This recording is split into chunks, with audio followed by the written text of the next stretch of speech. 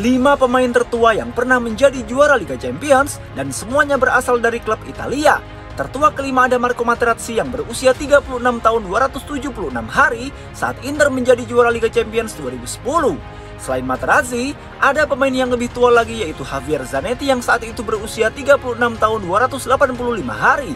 Tertua ketiga ada Alessandro Costa Curta yang berusia 37 tahun 34 hari saat AC Milan menjadi juara Liga Champions 2003.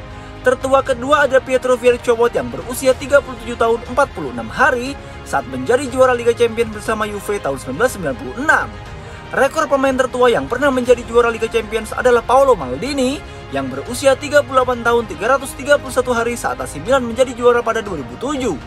Jika Real Madrid bisa menjadi juara Liga Champions musim depan, Luka Modric akan masuk rekor itu dan menjadi pemain tua pertama yang pernah juara Liga Champions dari luar Liga Italia.